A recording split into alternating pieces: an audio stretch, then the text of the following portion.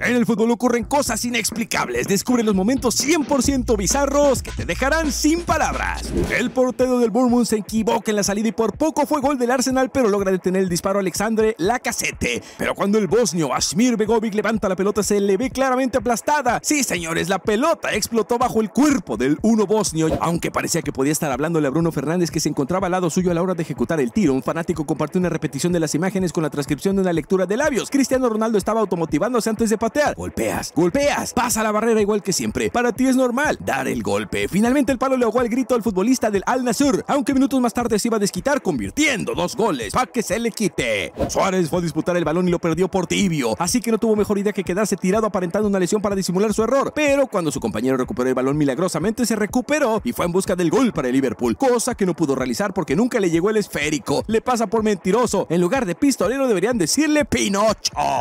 Una de las cámaras del partido amistoso entre Francia y Luxemburgo capturó una secuencia divertida y fortuita. Kylian Mbappé quejándose de una falta sentado en el suelo, mientras a su espalda una valla publicitaria dinámica mostraba un hombre arrastrándose por el suelo, creando una sincronización perfecta con la situación de Mbappé. Jude fue a la grada a buscar a su madre, le colgó del cuello la medalla del campeón y cuando bajaron al césped del estadio de Wembley a celebrar se percató de que podía cumplir un viejo sueño de su madre hacerse una foto con José Mourinho. Lo siento, mi madre es fan tuya desde hace años, le dijo el astro inglés con la humildad que le suele caracterizar. Así que Jude, sin ningún reparo, le pidió el teléfono a su madre e inmortalizó la imagen con José Mourinho. Los fans de Troyes vieron su partido contra Stade Ruinas desde una bañera de hidromesaje. La experiencia única permitió a los seguidores observar con estilo y con la máxima comodidad en el jacuzzi calientito. El partido no fue el mejor de todos, pero al menos gritaron un gol. Siempre hay que ingresar motivado y concentrado al campo de juego, pero lo de Anthony ya supera lo normal. El brasileño estaba esperando sustituir a su compañero con esta cara de malote. Ya dentro del juego logró arrebatar el balón en media cancha, pero al final de cuentas su definición no fue la mejor. Eso fue suficiente para Ten que lo llamó para hacer un cambio táctico y claro que eso iba a afectar emocionalmente al brasileiro. Ni siquiera entendía lo que estaba pasando, pero no es la primera vez que le pasa. Eso es lo más raro de todo. Al menos pudo continuar en el juego.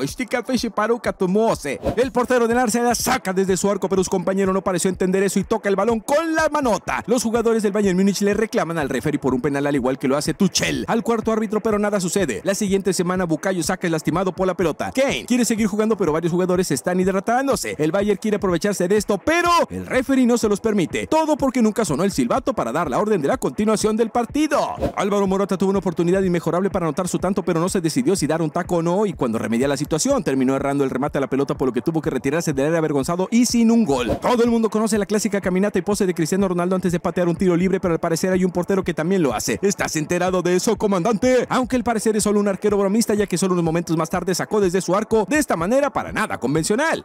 Jugar con anillos es peligroso, pero más peligroso sería llegar a tu casa y que tu esposa te vea sin el anillo de casao. Para evitar conflictos y ayudar al compañero, todos los integrantes del equipo comenzaron a buscar el bendito anillo, incluso con detectores de metal. Y para suerte del muchacho pudieron encontrarlo. Luego de unos minutos de búsqueda, ¡oh! Te salvaste, mi hermano. Benzema le pone un lindo centro a Ronaldo que cambia por gol al darle un certero cabezazo, pero el lineman marca fuera de juego y eso enfurece a CR7 que hasta se resbala antes de salir y se jala los pelos protestando. En tiempos en donde el VAR aún no era una realidad, Ronaldo fue a pedirle al camarógrafo que le muestre el offside hasta que se entera de que solo una cámara y no puede mostrar repeticiones. Ese Ronaldo es todo un loquillo. ¿Ves a estos hinchas? Sí, a los que se están moviendo del lugar. Míralos bien. Lo están haciendo porque en pleno invierno europeo se estaban mojando por culpa de una pérdida de agua bastante considerable. Los fans del Newcastle no sabían qué hacer para evitar eso y tampoco sabían a quién demonios pedirle explicaciones por lo sucedido. Cuando Francia jugaba contra Kazajstán, un hincha bromista pitó tan fuerte que parecía el silbato del referee, por lo que todos pensaron que el encuentro había finalizado, pero no fue así. Incluso el árbitro tuvo que pedir que siguieran jugando porque aún faltaban minutos la sorpresa de The Champ que pedía a sus jugadores que sigan en la cancha. Hasta Mbappé estaba a punto de retirarse, pero solo unos segundos más tarde llegó el pitazo final oficial. Las risas no faltaron. ¡Ah, qué chistosito! Este jugador estaba pidiendo un cambio de botines urgente al utilero que tardaba en llegar. En ese lapso de tiempo estuvo acechando en el área hasta que la pelota le llegó y la mandó a guardar en el arco rival. En el momento que llegó el par de botines ya no quería hacerlo. El fútbol tiene este costado supersticioso y tal vez por eso ya no quería deshacerse del botín de la suerte y jugar a puro calcetín. Ser guardaespaldas del mejor jugador del mundo y de la historia no es un trabajo fácil. El agente de seguridad de Messi protagonizó un increíble momento Tatum en el último partido del Inter Miami. Corrió desesperado como colegiala para interceptar a un fan que invadió la cancha para abrazar a la pulga. También se robó la atención en el cierre del partido del Inter Miami Kansas City al detener a un fanático que se metió al campo de juego para sacarse una foto con el astro argentino. Jorgen Klopp saludaba a la tribuna con aplausos cuando de repente se le cae algo muy importante, o al menos eso calculó porque no dejó de buscarlo y pidió ayuda a Raimundo y a todo mundo para dar con él. Por suerte la búsqueda del anillo tuvo un final feliz para él. Menos mal porque de lo contrario la señora Klopp se enfadaría y mucho. Jürgen estaba feliz como si hubiese ganado un título y abrazaba a quien se le cruzaba. El 10 serbio Tadic fue el autor. Con esta manera tan dolorosa del uno por uno del Ajax y en los últimos minutos terminó de concretar la remontada. Si bien Tadic sintió una molestia después del gol y esta se agarró los testículos en el festejo, pudo completar los 90 minutos sin sobresalto. Pero un momento, ¿lo que estamos viendo es real? ¿Hasta confirma si todo? No lo creo. ¿Tú lo crees? El árbitro del encuentro de la Pro League ante líder Union, Sint Gillis y Sint Truide. ¿Qué nombres son esos? Pitó demasiado pronto mientras surgió una situación de ventaja. Bert Put apenas había terminado de silbar cuando se dio cuenta de que había cometido un gran error. Después de su error, Put estaba literalmente avergonzado. Quería que se lo tragara a la tierra, pero no pudo volver atrás. ¡Ay, Put! En esta acción contra Puyol, Fábregas inicia su lesión aún sin saberlo. El penalti que transformó Cés Fábregas frente al Barcelona en Liga de Campeones le ha salido caro al capitán del Arsenal. El centrocampista catalán estuvo de baja al menos seis semanas de baja por culpa de una pequeña rotura en el peroné de su pierna derecha, pero recién sintió el dolor unos segundos después. Por increíble que parezca, ese día salió del estadio con las muletas puestas. Por suerte se recuperó y pudo ir al Mundial del 2010 y ya sabes lo que sucedió allí. El árbitro cobró una falta a favor del Benfica y ahí fue cuando todo estalló. Sergio Conceição fue expulsado en el tiempo añadido de la Supercopa entre Benfica y FC Porto por protestar contra el árbitro Luis Godiño, pero ahí no acabó la cosa, ya que el DT se negaba a abandonar el campo de juego. Estaba empecinado en quedarse allí. El técnico se negó a abandonar el banquillo y el árbitro recurrió al capitán Marcano para convencer al técnico de que se dirigiera al vestuario. Solo regresó al vestuario casi cinco minutos después tras una conversación con el capitán Iván Marcano, recomendado por el árbitro y luego un diálogo más cercano con el propio Luis Gudiño. Así de polémica fue la 24 expulsión de la carrera de entrenador de Sergio Conceiao. La 14 en el FC Porto se fue pegando el pecho en una clara señal tribunera. Creo que ese no es ejemplo para darle a sus dirigidos, pero como no soy de T, mejor no opino. O bueno, sí, pero mejor me callo. Lautaro Martínez volvió a fallar un penal con la camiseta del Inter y se lo veía un poco nervioso en la previa. Al parecer el disparo fue tan por encima del travesaño gracias a que la pelota se adelantó unos milímetros antes de que el ex Racing pateara. Desvió el remate decisivo que eliminó al conjunto italiano de la tanda frente a Atlético Madrid en España por los octavos de final de la Liga de Campeones. En este tiro de esquina hubo otro chistosito que hizo sonar el silbato como si del árbitro se tratara. Ya parece costumbre. Los atacantes al ver que el equipo rival se quedó quieto decidió seguir con la jugada y anotar un gol, lo que desató la confusión. El juez de campo consultó con sus demás colegas si alguien había hecho sonar el silbato. Al obtener una respuesta negativa, dio como inválido el gol ante la sorpresa de los jugadores y el partido continuó desde un saque del arco. ¿Alguna vez viste un helicóptero en una cancha de fútbol? Pues si no lo viste, aquí te lo mostramos. Esta aeronave aterrizó en el centro de la cancha y uno de los integrantes de la tripulación trajo consigo una pelota, la pelota del partido fue entregada al juez de campo. Misión cumplida, señores. El astro argentino recibió una falta previa y tuvo que recibir asistencia por una nueva regla que rige desde hace unos días en el fútbol norteamericano. Messi tuvo que esperar durante dos minutos a un costado del campo de juego, muy molesto con la nueva reglamentación y fue en ese interín que Matías Rojas se encargó de delitar a los presentes con su prodigiosa pegada.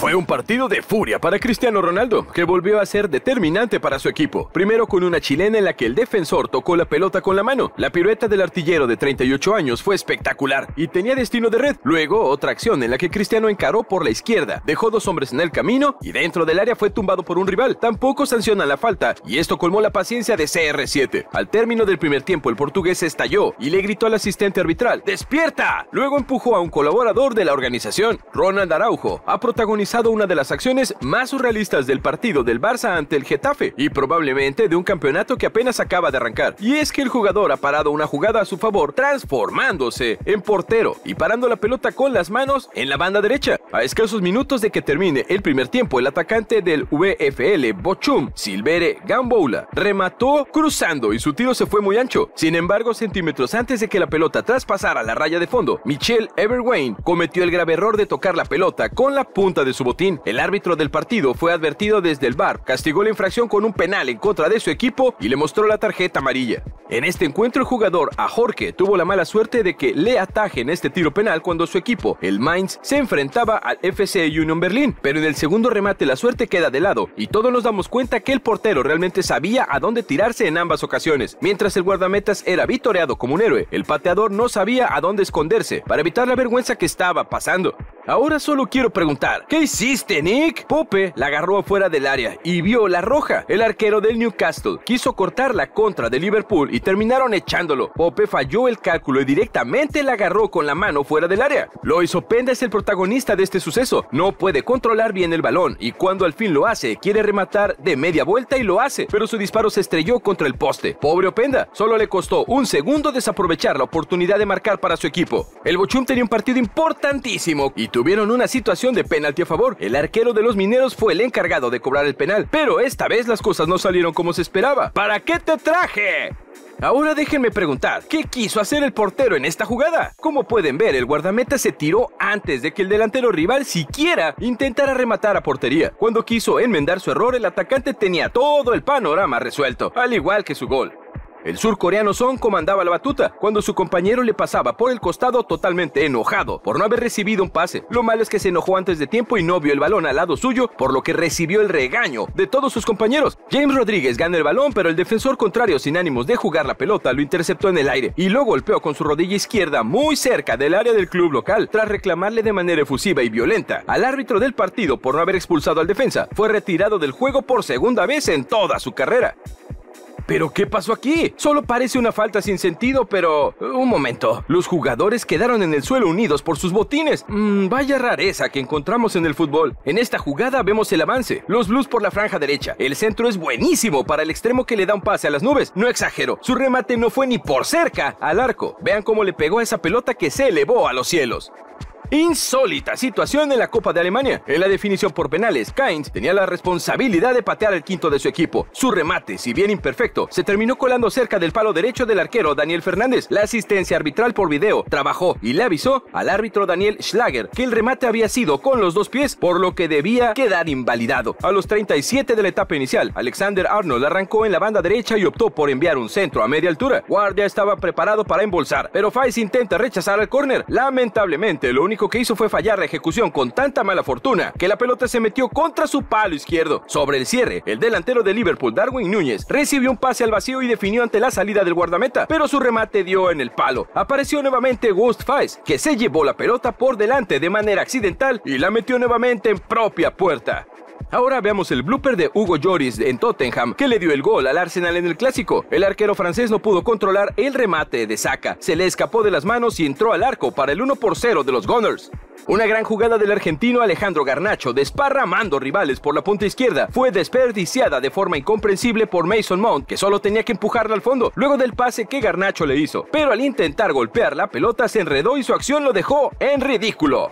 Las uñas cortas deberían ser reglamentarias en el fútbol, de lo contrario los defensores pueden usarlas como arma. El jugador del Arsenal no puede creer y reclama al árbitro alguna acción. Lo que sí sabemos es que su sponsor tendrá que confeccionar camisetas más resistentes, al menos tenía una de repuesto.